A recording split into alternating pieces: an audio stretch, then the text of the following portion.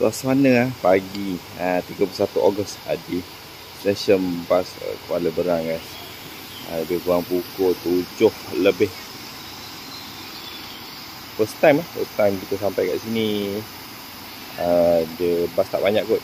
Dia bas singgah lepas tu jalan.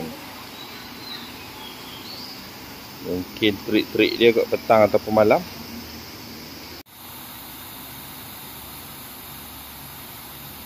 Di BB 8889 guys. Selesai uh, turun dengan orang dan lepas semula.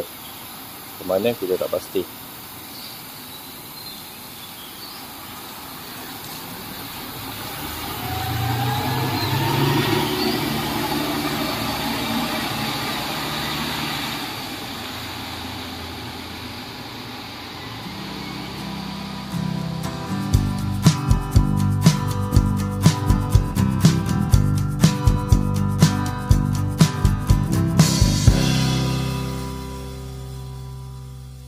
Bye.